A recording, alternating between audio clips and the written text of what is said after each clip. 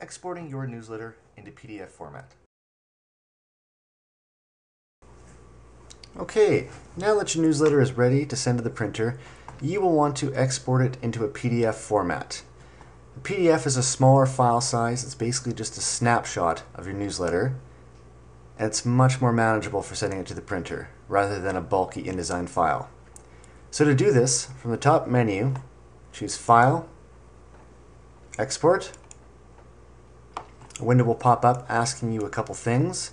Firstly, what you want to save the file as, the name, and where you want to save it. We're going to save it to my desktop under Newsletter PDFs. The format, the drop-down menu, choose Adobe PDF. Click Save.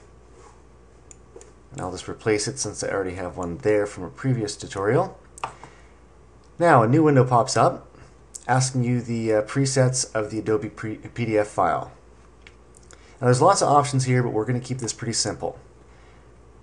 Under Adobe PDF preset, drop-down menu, choose high quality print. If you choose anything lower than that, you may run the risk of having a poor quality final product that you'll be distributing. And lastly, under options, make sure that view PDF after exporting is checked. And click export.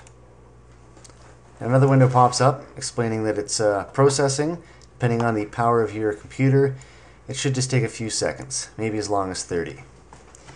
Now, the PDF file has popped up, and this is exactly what you're going to see when you print off the final product.